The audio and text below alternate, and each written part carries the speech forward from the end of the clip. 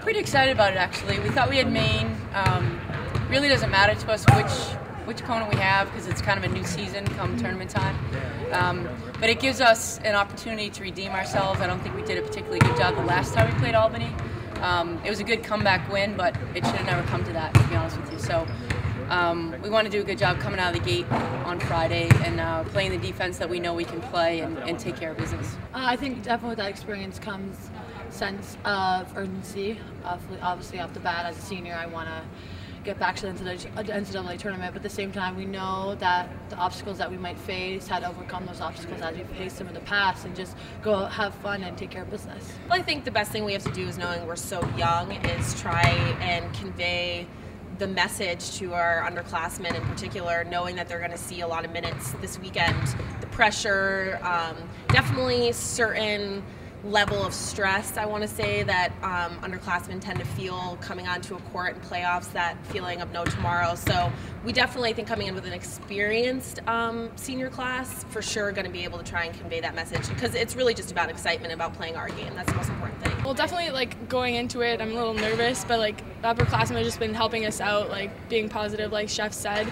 So just like going in, trying to work our hardest and see what happens. Albany's much improved, so I, you know, I don't expect a blowout in that sense, but uh, our effort was much better first time we played.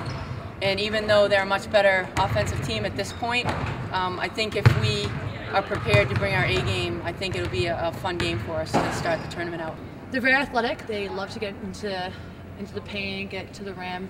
They're they have fairly good posts. Um, they're very young. But with that comes they have a sense of we're just going to go at go at anybody, so they have nothing really to lose at, the same time. So they're definitely a tough comp- competitor, and they're playing very very well. So we got to make sure we come out right away. Oh, absolutely. And I think if anything, we're going to take away that uh, no one's safe in playoffs. Um, certainly this year more than last year, I feel like any America East team has a shot at winning the championship, and I certainly hope that um, that everyone can learn from our experience that no one stays undefeated in uh, playoffs, and that's the attitude we have to have is, is coming in do or die. Well, with our we always talk about getting the first punch, so that's why our best intimidating factor um, that we can think about. We just need to get up, come out, come out strong, take care of business early, don't make unnecessary turnovers, mistakes, and just uh, make the point very clear that we're here back in the tournament. We're looking to go back to the NCAA tournament the the game's not going to be decided in, in, one play for sure. So it's really just about constantly getting that uh, that punch in that May talked about and going over and over again, and that's how we're going to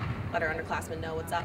Typically, you go into the tournament, and you know you have to play your best three games in three days, and um, it's nice to know that not only we have a break in between each game, um, but then we have another week to prepare for the championship. So um, our only concern right now is is Albany on Friday.